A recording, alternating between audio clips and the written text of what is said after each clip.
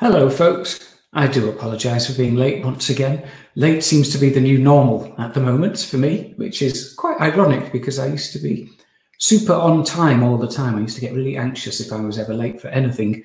So, uh, yeah, we had some technical issues last night. Uh, apologies for the delay in that one. And the same's happened again this evening. I don't know where Jackie is. so, she is due to be here giving us a uh, the third part of three of the talk of um, the inner child on love addicts and love avoiders. I wonder which one you might be. Are you a love addict? I've got that Robert Palmer song in my head, Addicted to Love from the 80s. Do you remember that one with the ladies all dressed in black playing guitars? So that's my earworm today. Uh, as you can see, I'm just playing for time here because I don't know where Jackie is. so yes, love addicts and love avoiders. I wonder if you are, if you identify with one of those, or perhaps one of your partners, current, past, present, uh, may be a love addict or a love avoider. So I'm hoping that Jackie's going to make it to tell us all about it. She did message me about 15 minutes ago to say, Can you send me the link to the studio? And I did so. And then uh, it's all gone quiet. So I'm guessing something has happened, uh, which uh, is, is what happens, isn't it? Live broadcasts and all that. So I'll just talk for a bit and uh, hopefully Jackie will be along. And if she isn't along in five or 10 minutes, then we'll just knock it on the head and try again another night. So I'll let you know what's coming up. First of all, tomorrow, 10.30 in the morning, Jaffa and Steve will be here for part three, episode three of Tools for Living Your Life, which has been really well received so far. Uh, nice energy they've got bouncing off each other there and offering some NLP, neuro linguistic programming, tools to help you with relationships and achieving goals and all sorts of other useful stuff like that. So that's 10.30 tomorrow, streaming live on the Hive. Saturday is book club with Rachel. So if you're in that already, I'm guessing you're coming to the end of The Road Less Travelled now, one of my favourite books of all time. And they're going to be changing books soon and letting in new members so you can join in the fun frolics and very connecting stuff, I believe, goes on there. Uh, so they'll be reopening that pretty shortly to people who want to try their next book, which is also very wonderful. And I won't tell you what it is, I'll let Rachel do that. Sunday is uh, another new session. We had a session, new session with Karen last night, talking about uh, what was it called again? The search for meaning, which I thought was lovely, very authentic and um, useful uh, to hear someone's personal perspective, very eloquent, and um, a lot of people resonated with those messages. I think. Oh, just got a message. Who's this from? Oh, it's from. Oh, yes. Okay. Oh, here we are. Jackie is here. Wonderful. Uh, and what else? Sunday, yes. So new session, Singer Size on Sunday. That's 7 p.m. So do join us for that. And I will just see if Jackie is well, uh, ready to join us. Oh, well, I forgot to press enter ah, no studio. Problem. No problem. You're here now. Are, are, you okay? Yes, I'm fine. Thank you. And it's Good. nice to see you. And hello, everybody. um, I'm going to get cracking because uh, there's a lot to cover here. So, briefly, uh, you know, I did my training five years five years ago, oh God, 20 years ago, uh, at the Centre for Counselling and Psychotherapy Education in London. And um, Paul's father, Keith, was uh, it was in my year the whole five years all the way through. And uh, i was chuffed to bits when paul announced three years ago that he was going to do the same training. So well done paul. Yeah it's brilliant. And i'm biased. I think it's the best training there is actually. But um, i'm biased i guess. So um, what i'm going to do is a quick run through of codependent stuff. Just a little a little teaser for people who haven't listened to the other the other talks and so I'm going to get cracking because I've got um, a conveyor belt of books on my table here to go through. And I will be quoting a lot from Facing Codependence. Um, you know, I bought this book 15 years ago and I just skimmed through it. So I've learned a lot researching for this, to do this talk. And uh, I wish I'd read it when I was married, actually. But that's that's the way it is. So I'm just going to start with a few quotes, and the first one is from "Healing the Shame That Binds You" by John Bradshaw, uh, and it's on loving yourself. And uh, he says, "Toxic shame's greatest enemy is the statement I love myself. To say I love myself can become your most powerful tool in healing." The shame that binds you. To truly love yourself will transform your life. And then he he mentions a quote, a, quote from Scott Peck.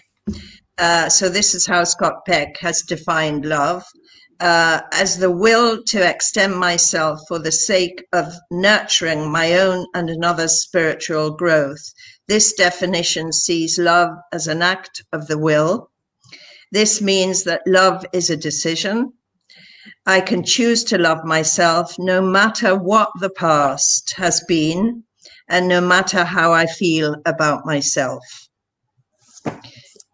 That one out the way. And then, um, oh, I'd just like to say that um, recently um, an old trauma reared its head for me, and uh, I had the privilege of working with Jo Bartholomew, who is an EMDR uh, therapist. And we did some wonderful work, and I can't recommend her highly enough. So, anyone who has an issue with trauma or what whether it's one or, or several, uh, I would highly recommend um, recommend her. And uh, she is, as you know, a member of the Hive. Yeah, she indeed so, did a talk, didn't she, a few weeks ago yes, about trauma and EMDR. Yes, so, she did. Yeah, if you haven't seen that, folks, have a look on the recordings topic. So let's get on um, now. Mm. This is this is a quote from again John Bradshaw in a book he wrote called "Creating Love," and I, it's just very short. I will read you this. Um, where am I? Ah, yes. So um, it's a quote from R.D. Laing. Uh, what we think is less than what we know. What we know is less than what we love. What we love is so much less than what there is. And to that precise extent, we are much less than what we are. And another quote from somebody called Richard W. Firestone Most people choose an emotionally deadened, self limiting mode of life. They have ceased to want what they say they want because real gratification and accomplishments threaten the process of self nourishment through fantasy. Let's get rid of that. Right. So what I'll do is uh, I'm going to be quoting a lot from Facing Love Addiction, but what I'll do, I'll do it in two parts. I'll do the first part, which is on the love addict, uh, and then we'll have a little break. So if anybody has any questions, we can take those then, and then we'll go on to look at the love avoider. Otherwise, it's going to be a lot of talking, and I don't want anybody to lose the will to live. so, uh, Right. So let's get right. Um, so if you want to witness toxic love in addiction in action, watch the dinner party scene in Dr. Foster, the series Dr. Foster. Um, so I'm just going to do a little bit of catch up, some quotes from eminent leaders in their field of co of uh, codependence. Um, and I'm just going to go through this quickly. This is Pia Mellody, the first one.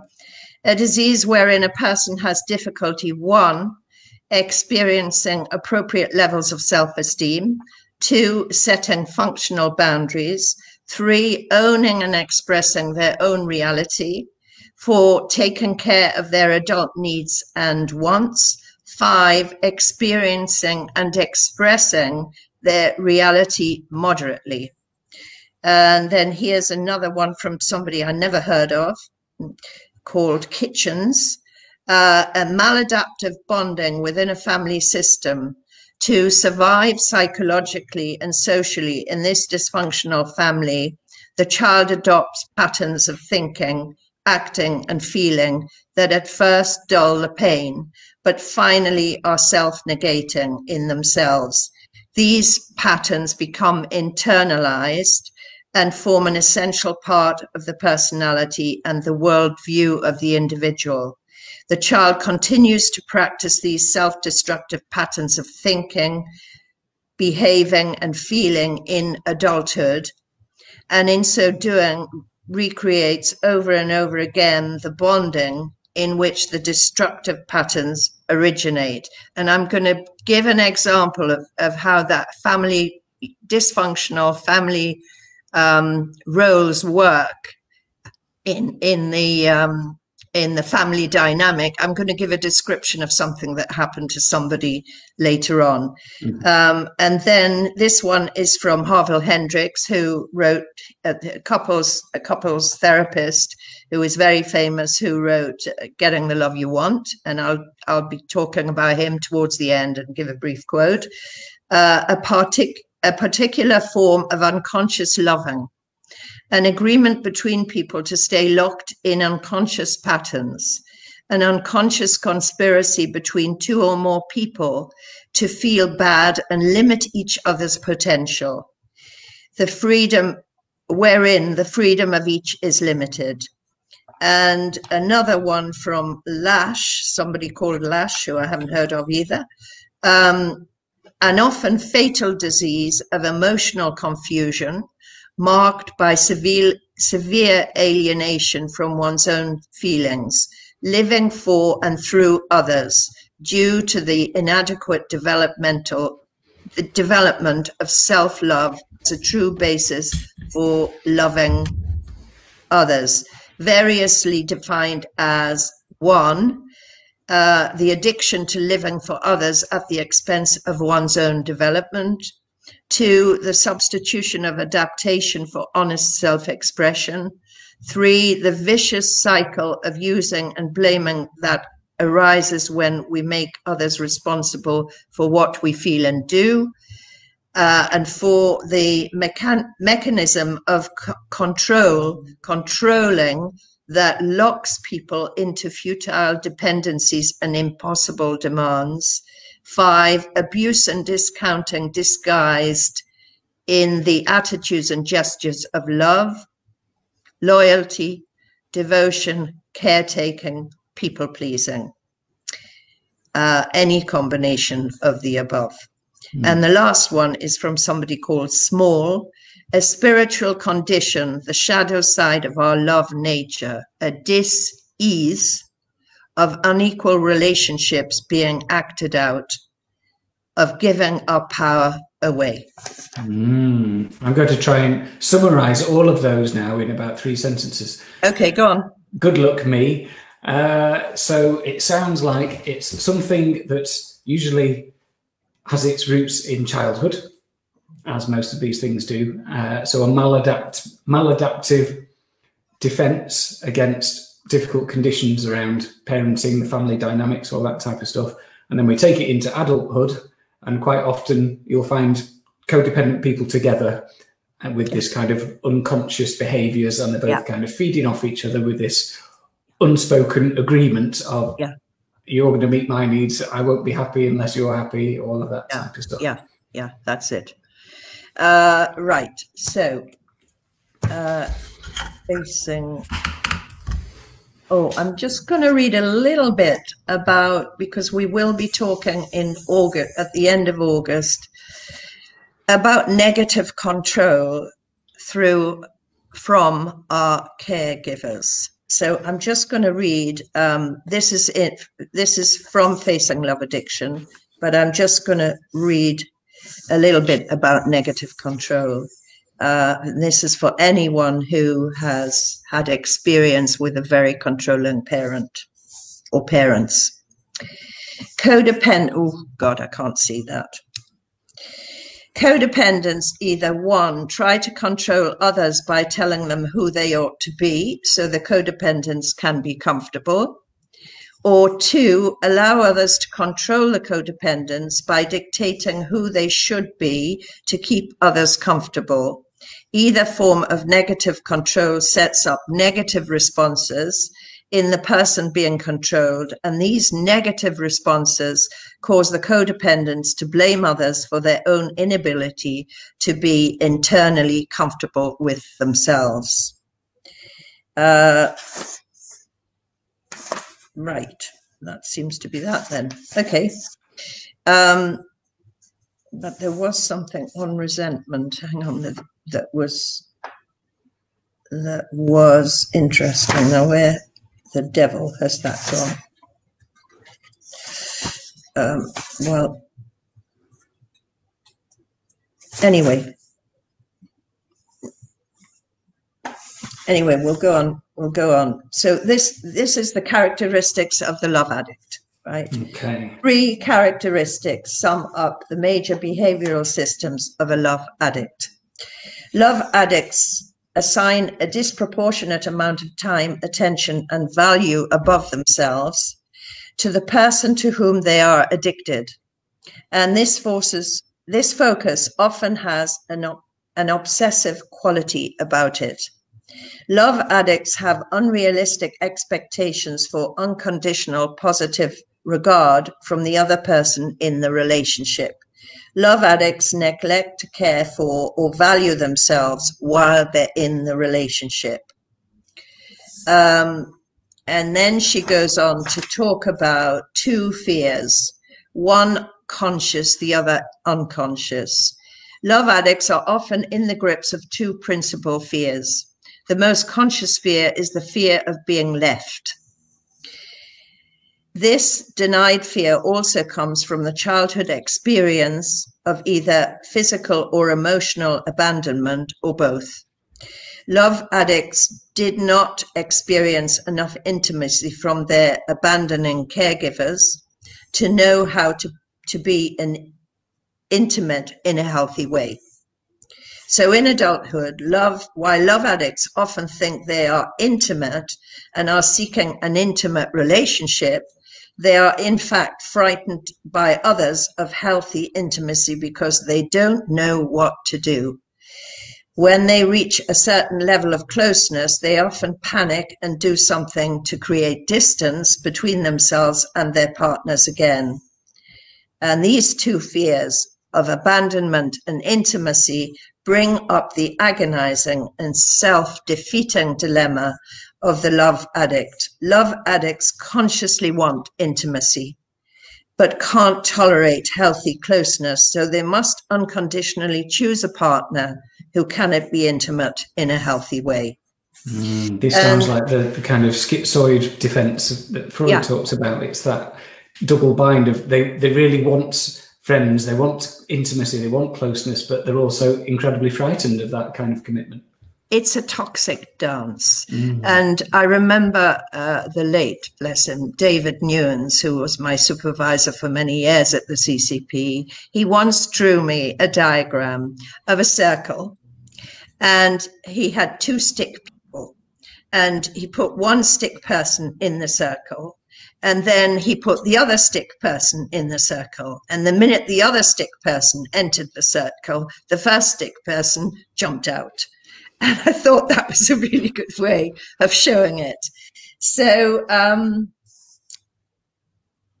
so this is what she says about childhood abuse experiences of the love addict uh, I have come to believe that people fall into love addiction because of the unhealed pain from childhood abandonment and the feeling that they cannot be safe in the world without having somebody else that can hold them up.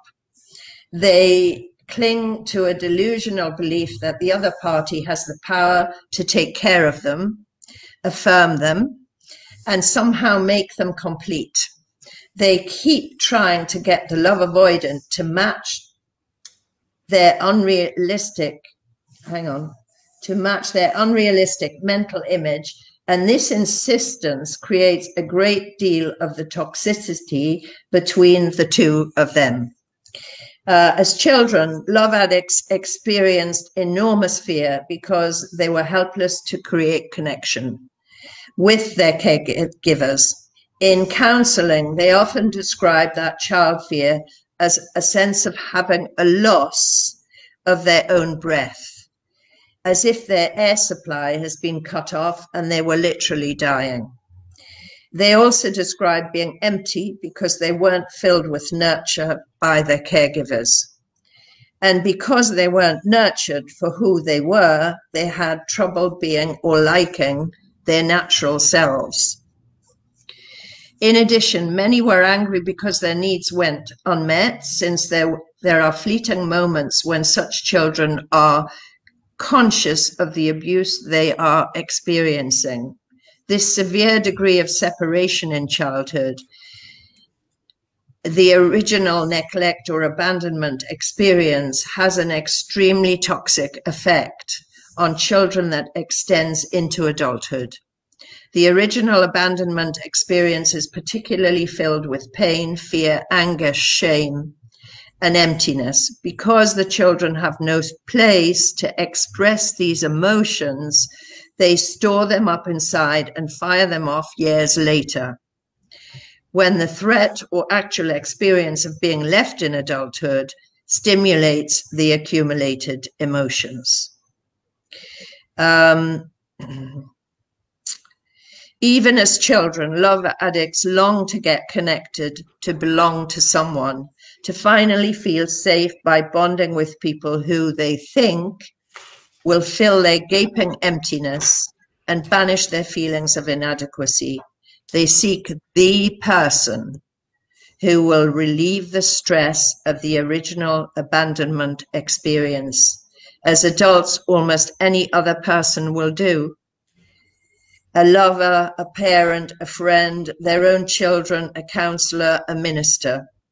If the other party isn't powerful, it doesn't matter. The love addict will invest this person with enough imaginary power and unconditional love to make the love addict whole and deliriously happy. Uh, and then she goes on to talk about um, the fantasy of a rescuer being born.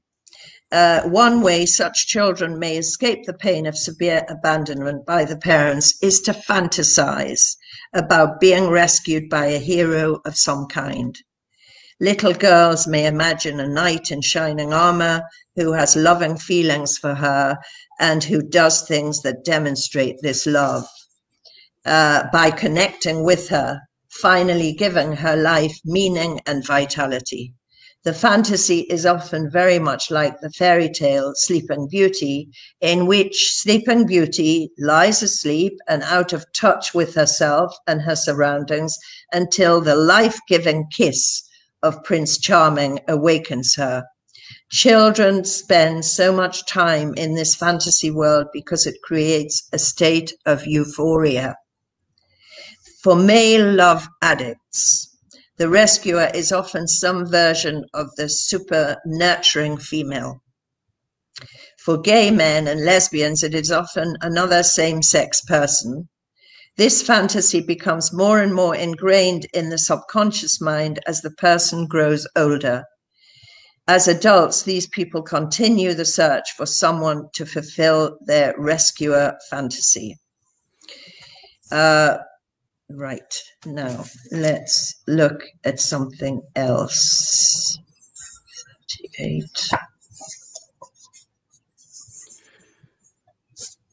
So I'm yes. just going to jump in and say that, that it sounds like what was missing in childhood, whether they, they weren't nurtured, they weren't shown love, they didn't have that unconditional acceptance from their parents. There's a hole there. And then to try and fill that hole, they escape into fantasy, uh, fairy tale kind of rescuing.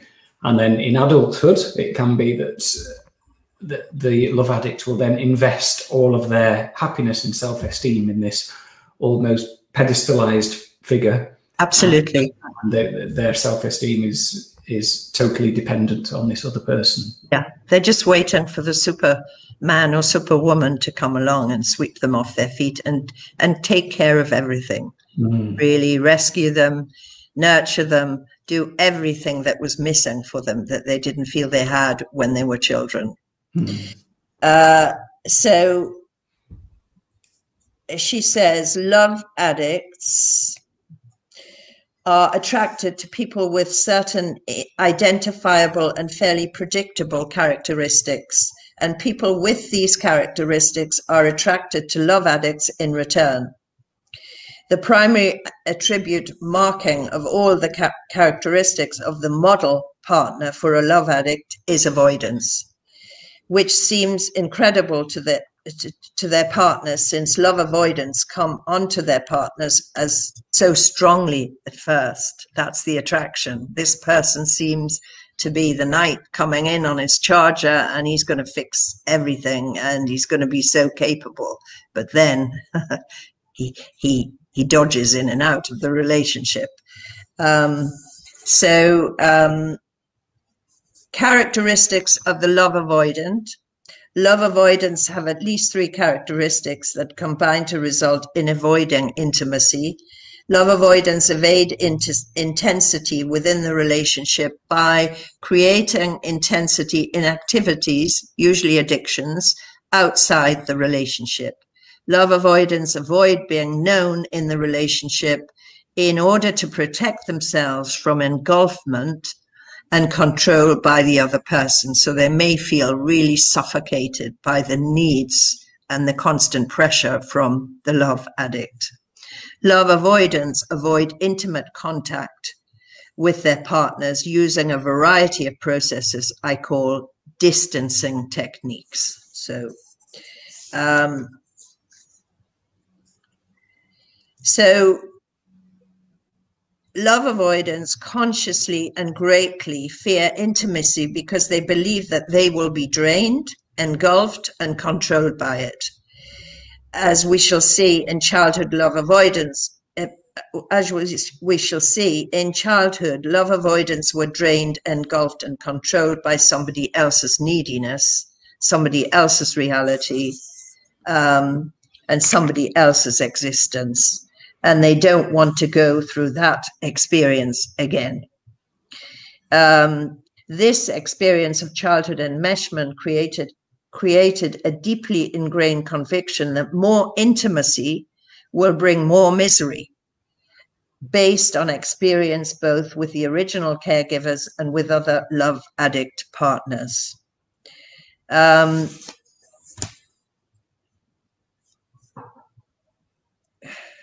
So basically, she's saying that evading intensity within the relationship, a major goal for love avoidants is to keep intensity within the relationship to a minimum.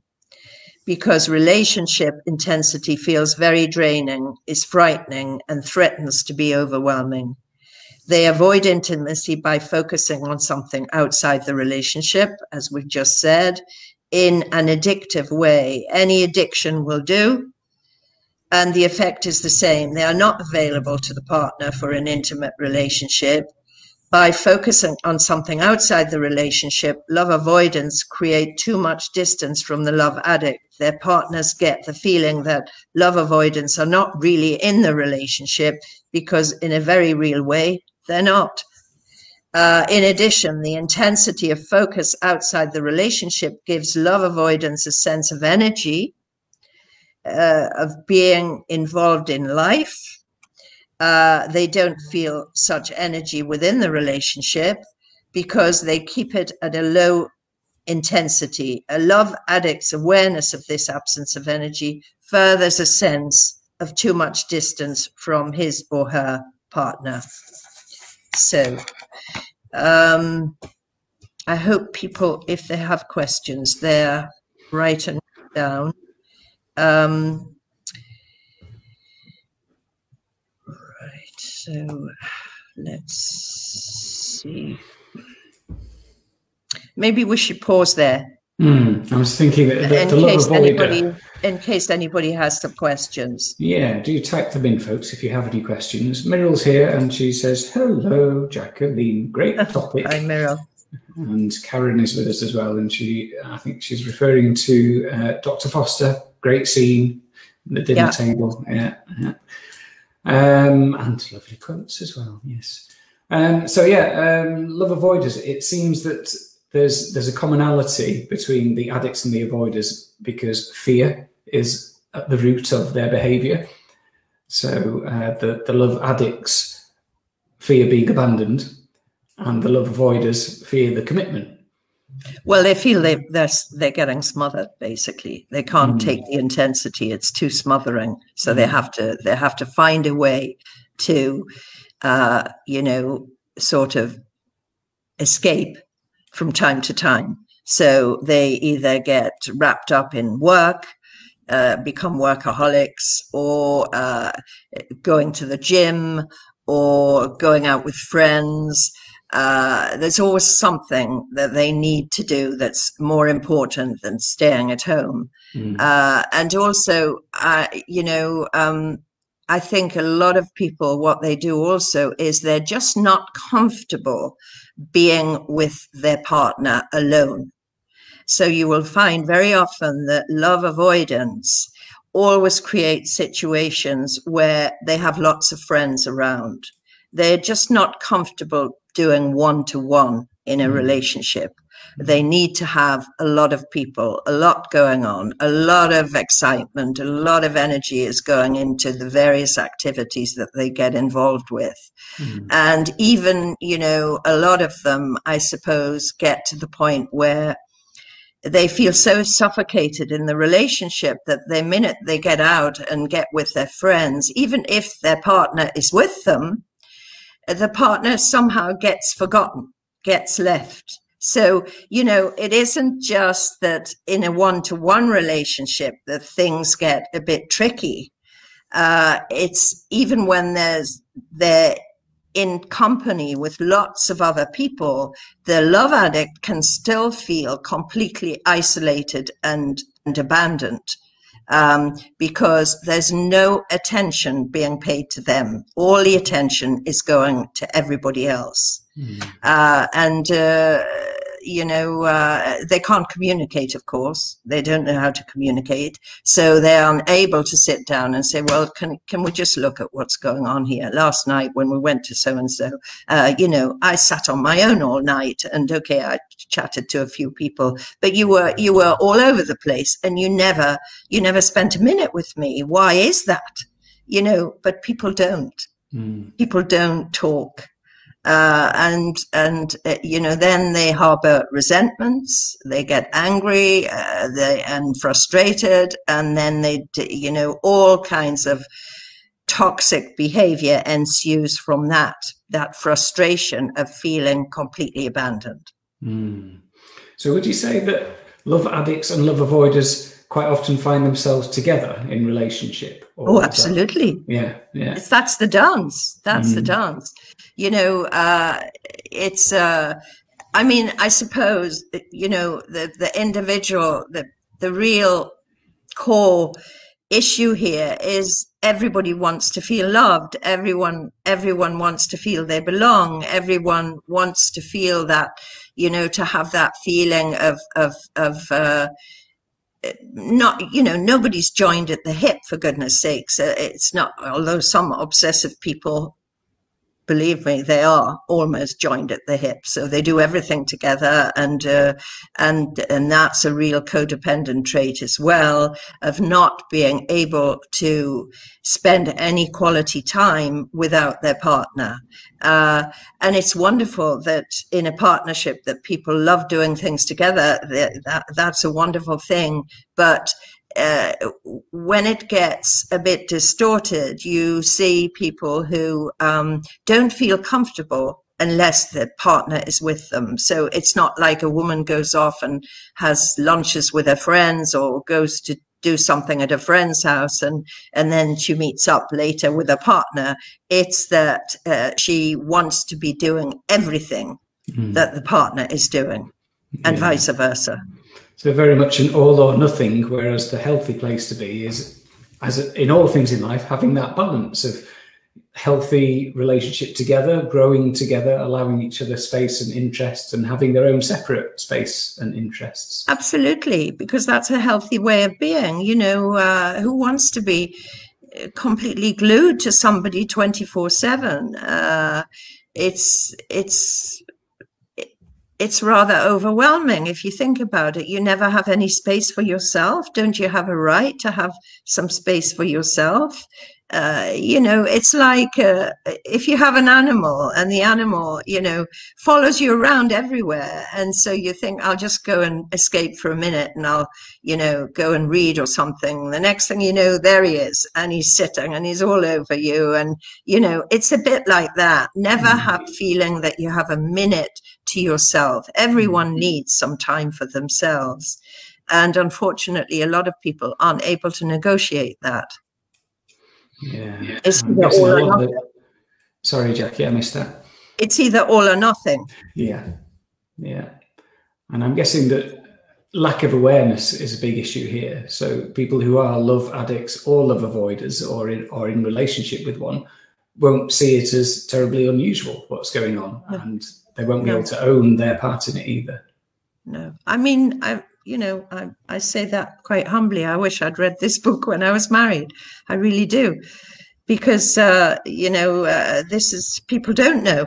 People just, they want to fix something and they, they, they know that deep down, they know there's something not right and they're not happy. And, and this is how, of course, with couples, this is how arguments start, you know, because one gets accused of doing too much with his friends or whatever. And, and uh, it's usually the men, but there are women who are love avoidance as well. But um, you know, it's it's it's it's sort of makes you realize that some people find it difficult to breathe. They haven't got space to breathe. Uh, but of course, it's where they come from, you know, because if if somebody was totally functioning and totally aware, they would see these difficulties happening in their relationship and they would sit down with their partner and say you, you know what happened yesterday? You know i just went off to the barbecue with my my friends and and you absolutely went berserk because I wasn't there for a couple of hours. So, you know, and if you can't talk about it, then the thing just keeps spiraling and spiraling and spiraling until eventually uh, there's a split up, there's a breakup because it mm-hmm. becomes intolerable. Mm. Or you have another way. You have the the the kind of man that goes along, if the woman is quite controlling, that goes along with everything she wants and doesn't say anything, and absolutely uh, looks like he's very happy with everything that's going on. And uh, but i wonder if he had if he really could find a choice for himself whether he would actually um, break out and do some things for for himself and there are a lot of men married to really controlling and i'm not saying these women aren't loving women but quite controlling women who you see it, you know, they don't have many friends of their own. They don't go out with the boys. They're always going and doing what their partner wants to do. Uh, and you know it's it's not healthy mm-hmm. to uh, you know to to to not have that time to breathe not have that space not have your time your time to sit and do whatever it is read or paint or go for a walk or whatever uh, it's really important uh, and a lot of people don't get that. Mm. They just don't understand it. Yeah. And they go along because they're afraid they're going to get abandoned if they put up too much of a fuss. So they go along with it. And that's how all the resentments build up, all the frustrations and resentments. Mm. And then there's a big row. Mm. Uh, and and then it calms down and it's all right for a little while. And then the whole thing starts all over again. Yeah. Yeah. So I'm seeing some things come to mind around there being three ent- entities, three entities in a relationship. There's me, there's you, and there's us. And for for people who are in this dance of um, codependency, there isn't a me and a you. It's just it's just the us. Yeah, yeah. It's all or nothing. Mm. So nice little uh, comment from Meryl here. I heard someone say she's like a second pair of knickers. We are so close. That's a nice one, Meryl. Thank you. My Thank granny you. used to say, you know, they're like Darby and Joan. She used to say, they always do everything together. They're like Darby and Joan. And she admired that. She really, I mean, a woman who had, I think, was married three times or whatever, you know, she admired that. She thought that was wonderful. But, you know, I used to think, hmm, I wonder, is one mm. giving in and just doing what the other one, you know, or is one just holding back and doesn't dare say anything, contradict, or not agree with what their partner is saying? And I think there are a lot of, especially in perhaps older generation. Mm-hmm. Uh, I think there are a lot of people like that who, oh, you know, you see the husband, the the long suffering husband that just mm, he just sits there and he doesn't say anything you know and uh, it's not worth it because he's afraid if he if he says anything he'll open a hornet's nest and then it'll be all hell to pay so he'd rather have a quiet life and my granny used to say you know um, it's just better sometimes to let sleeping dogs lie. Oh my God, I heard this so many times. Or just to sweep it under the carpet. It could go away. Of course, it doesn't go away. No, it just just turns into a great big dusty pile of resentment. Oh, my God, it's just horrible. So um, anyway, um, so um, no questions. So just uh, just to clarify, was that all Pia Mellody's book, Facing Love Addiction? Yes, it's this one. Yeah. Okay. It's this one. Yeah. yeah. Pia Mellody. Yeah. Yeah. She's great. She's really great. I can tell you're a big fan. Well, I love her work. I really do. Um, but I'm going to. Um, ah, I found the bit on. I'm all over the place here. I've got the notes, but I don't know. I'm all over the place. But I have got the. This is from Facing Codependence, and the book won't like look like this anymore because this is an old copy. But um, I think this is quite interesting because here uh, she talks about um, she talks about resentment and negative control. So, um, in my opinion, the need to get revenge or punish comes from the, the belief that if I can sufficiently punish the person, I can keep this painful experiencing from ever happening to me again. This immature thinking developed in my childhood when I was unable to protect myself. So, where are we? God, the time's going. Um, and further, further up, so a bit more. When, hang on, what have I missed? Two. All right, okay. Forgiving a person who has hurt me means that I give up the need for revenge or punishment so that I can feel good inside myself. It doesn't mean that I must keep the person in my life constantly battling to protect myself and being hurt in the process. It doesn't mean I approve the person's actions. It just means I simply acknowledge my feelings, stop replaying the event in my mind, and give up the idea of revenge or punishment. So she goes on to talk about impaired boundaries.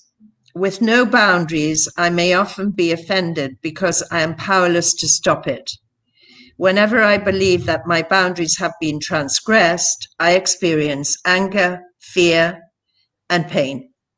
At these times, resentment may enter in a need to get even.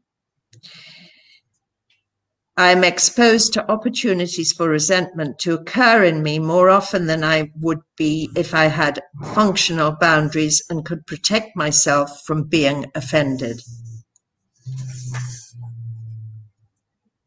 And then she says, when I can't own my own thinking about myself, I use the opinion I think others have of me to define myself to me. So, in other words, I will always listen to somebody else's opinion before I can put my own opinion first. And if I'm very fearful, then I will go with what other people think. And I think of my poor mother, and she did that the whole of her life. She always got the opinion of the family. She could never own her own truth and say what she really wanted. And the result was that, that you know, all the things that happened to her in her life, she depended on the family to make those to make those decisions for her. So she remained a child basically throughout the whole of her life. So um,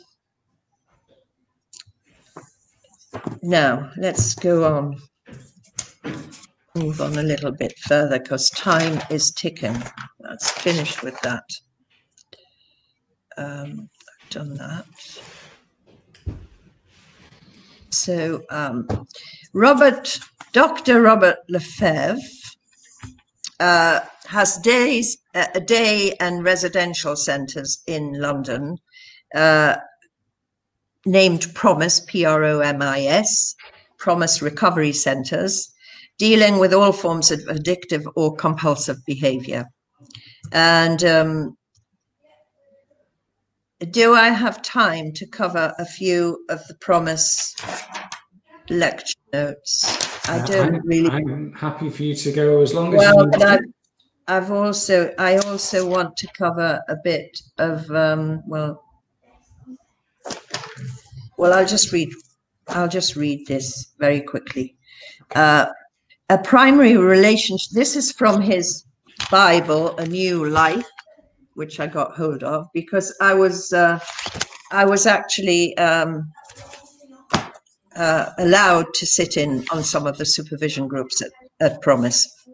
Uh, a primary relationship addict who uses other people as if they were drugs should be differentiated from a compulsive helper who uses himself or herself as a drug for other people. The addict and the compulsive helper may have a fatal attractive attraction for one another, um, being locked into each other's addictive behavior in a dreadful dance. Furthermore, if one particular relationship breaks up, either partner will soon find a replacement with the same or comparable addictive tendencies as the last.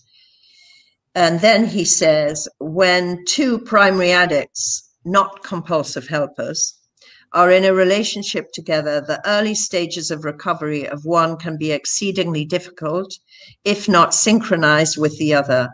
The pull of addictive disease is always stronger than the pull of recovery, so the risk of relapse is considerable. For this reason, the addict who is newly recovering, newly recovering needs considerable support in the anonymous fellowship and needs to be aware of the significant risks of trying to do what he or she often most wants to do to get some special person into recovery. At this time, in addition to attending his or her primary fellowship, it would be sensible to attend Helpers Anonymous or an equivalent family fellowship. And he says it is dangerous to make new relationships eh, relationships in early recovery, the first year or even two, because each addict tends to be attracted to others at his or her own level of recovery. Thus, when addicts walk out of the treatment, out of treatment, they often do so in pairs, being attracted both physically and mentally to the bizarre wreckage in each other.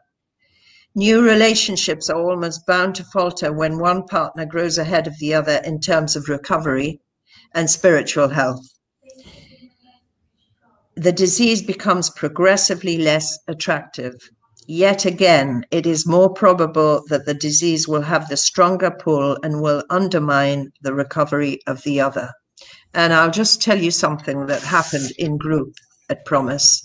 Uh, Robert had been informed that two young people, they were both about 18, a young boy and a young girl, um, had uh, started having sex. And it's not allowed while you're in recovery in, in a rehab, in a residential setting, uh, that um, you have a relationship with somebody, you know, somebody in your group.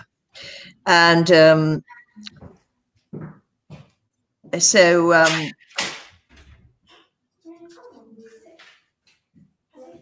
so what happened? Oh yes.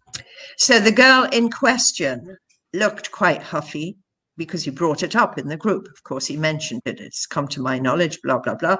The girl looked rather huffy, huffy and defiant. She didn't care. But the boy, however, looked quite remorseful. And uh, so Robert just looked at him and he said, um, So tell me, how does it feel to be used like a pill? So now I will briefly, briefly, uh, women who love too much. Robert briefly. Norwood. Yes. Robin Norwood. Oh, Robin, sorry, not Robert. Robin, yes. I'm sure she doesn't mind, Paul. Um, a, dysfun- a dysfunctional family is one in which members play rigid roles and in which communication is severely restricted to statements that fit these roles. Members are not free to express a full range of experiences, wants, needs, and feelings, but rather must limit themselves to playing that part which accommodates those played by other family members. Roles operate in all families. But as circumstances change, the members must also change and adapt in order for the family to remain healthy. Thus, the kind of mothering appropriate for a one, for a one year old will be highly inappropriate for a 13 year old, and the mothering role must alter to accommodate reality. In dysfunctional families, major aspects of reality are denied and roles remain rigid. When no one can discuss what affects every family member individually, as well as the family as a whole, indeed, when such discussion is forbidden implicitly, the subject is changed or explicitly, oh, we don't talk about those things. We learn not to believe in our own perception or feelings because our family denies our reality, we begin to deny it too. And this severely impairs the development of our basic tools for living life and for relating to people and situations. It is this basic impairment that operates in women who love too much. We become unable to discern when someone or something is not good for us the situation and people that others would naturally avoid as dangerous, uncomfortable, or unwholesome do not repel us because we have no way of evaluating them realistically or self protectively. We do not trust our feelings or use them to guide us. Instead, we are actually drawn to the very dangers, intrigues, dramas, and challenges that others with healthier and more balanced backgrounds would naturally issue. And through this attraction, we are further damaged because much of what we are attracted to is a replication of what we lived with grow, what we lived with growing up. We get hurt all over again. No one becomes such a woman, a woman who loves too much by accident. To grow up as a female in this society in such a family can generate some predictable patterns. So, um, I'm just going to tell you of a of a regarding family roles. Um,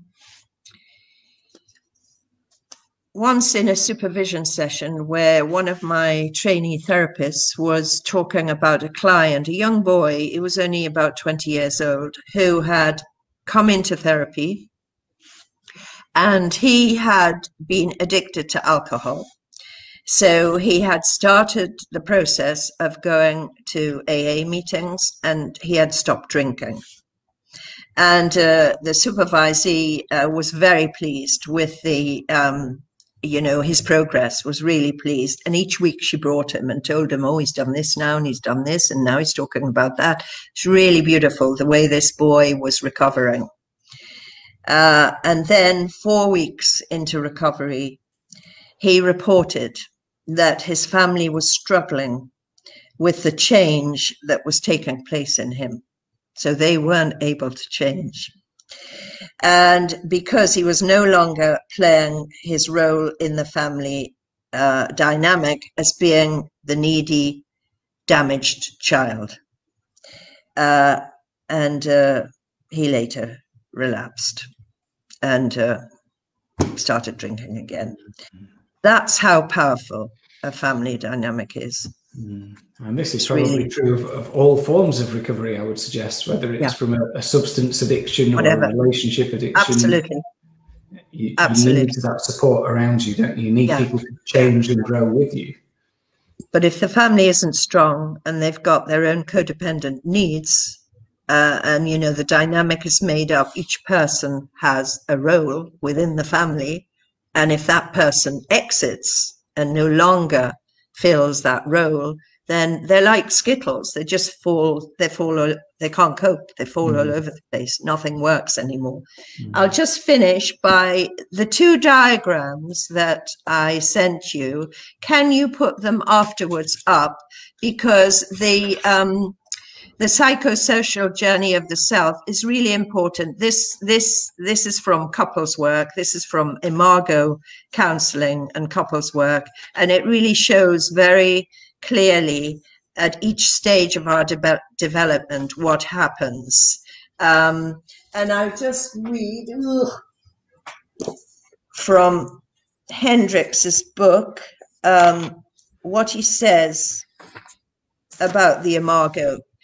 Uh, he called his his couples counseling therapy imago um, relationship therapy, and the reason he called it imago is this: to guide you in your search for the ideal mate, someone who both resembled your caretakers and compensated for the repressed parts uh, of yourself, you relied on an unconscious image of the opposite sex that you'd been forming since birth.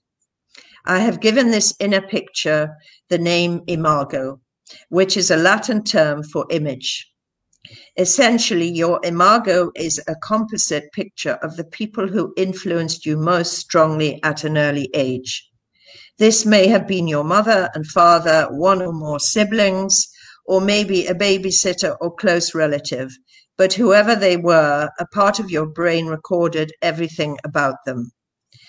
The sound of their voices, the amount of time they took to answer your cries, the color of their skin when they got angry, the way they smiled when they were happy, the set of their shoulders, the way they moved their bodies, their characteristic moods, their talents and interests.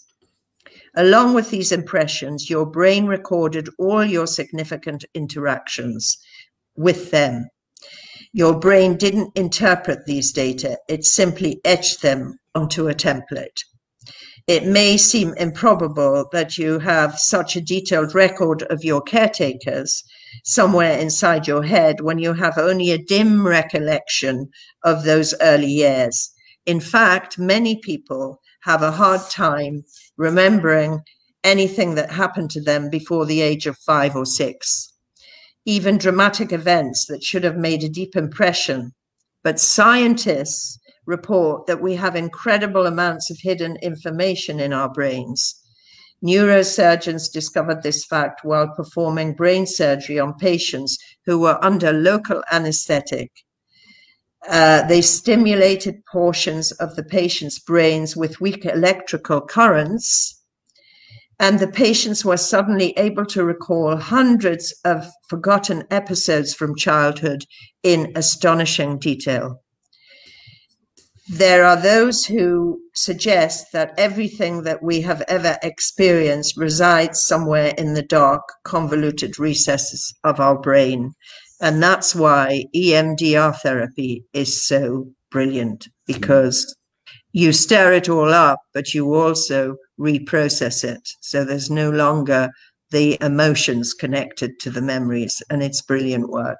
Mm. That's it, folks. Lovely. So uh, perhaps I will share. Can I share this thingy application? There we go. Share. Is that the the diagram? Yeah, that's it. Yeah, that's it. Uh, nice, nice little doodles. Will um, they be able to? Will anybody looking at this afterwards be able to see that? Or I not? will. I will upload it to the Thank hive you. after this talk, so people. Okay, can thank you. it. Yeah, yeah. Do you want to just say a little bit about this so it gives it a bit of context, Jackie? Uh, right. Well, so um, you know, where you start off at the developmental stage, which is the attachment stage, and then um, the you know, from birth. This is the, this is our early experience of being in the world, and then uh, up until about fifteen months, the exploration period, when a baby starts to explore its surroundings and get to know everything about where it is and then um, and then further exploring that goes on from that, um, which is up to to uh, two and a half or three years old or whatever, and then after that, um, well, no, at two years old, I think he's got thirty to forty-eight months. The the at fifteen to thirty months, our identity begins to form. And then at 30 to 48 months, the sense of personal power or competence starts to grow. And then as you go up, um, you know, that at 48 to 72 months, that's where empathy starts to build, to be born, a Mm. concern for others. And then seven to 12 years, that intimacy, empathy, the ability to love, the, the, the, the, the understanding of what it is to be intimate and loving. Mhm. And then 12 to 19 years, the integrated period of, of, of finding love and, and understanding love. And then, uh, you know, everyone's um, ability to uh, understand um, themselves and how they how they operate in society Mm. and then um, the rest is is 20 years on is life's experience that Yeah. that um, everyone goes through Great. Thank you. So, um, the book, somebody was asking for the book. So, we've got Facing Love Addiction, Pia Mellody, Women Who Love Too Much by Robin Norwood, Getting the Love You Want, A Guide for Couples by Harville Hendrix, who's also the Imago guy. And then facing love addiction and facing codependence of course but you know i know everybody can't read i mean if i was to recommend one book it would be facing love addiction I Mhm. really, I think it's really important because she covers, she goes over all the codependence stuff again. Uh, it's constant because it's part of it. So um, that for me would be the one that, uh, if I could only look at one, that's the one I'd be looking at. Great. Okay, smashing. Ah, right. So, folks, let's see if we've got any questions before we end. There we are. Uh, thank you both for a very informative chat and great chat to end on. Thank you, Jackie. Lovely. Okay, so, folks, if you've got any other questions, you can fire them through quickly now, or feel free to comment after the fact if uh, if anything pops into your mind, and um, perhaps Jackie will be good enough to answer those. Oh, I will. Absolutely. I'm Thank happy. you very much. Yep. And Karen says, "Thank you, Jackie and Paul. The diagram is great, wonderful." So yeah, that was. Um, I found that really interesting. So thank you for again for all of your preparation and expertise, and also the the personal examples from your own experience, which always adds some um, authenticity, some an extra level of um, that kind of uh, realness. Yeah, Mm. Real examples. So thank you. I just go back to the training, you know, our training, uh, because I, I, after I'd finished the, the five year training, I, I did the supervision training, as you know, and um, I was supervising quite a few groups. And um, in each group, we had, uh, we had at least one person who was from another, another college, so different orientation, not transpersonal. Uh, and um, it used to be interesting because the majority of the of the trainees in the groups were CCP trainees, and uh, in there, when they used to feed back and, and, and present their clients, they would be talking about planes of consciousness and archetypes and all kinds of stuff. And it was always interesting to watch the people who weren't CCPE trained, you know, their eyes up because they never heard of this stuff, you know.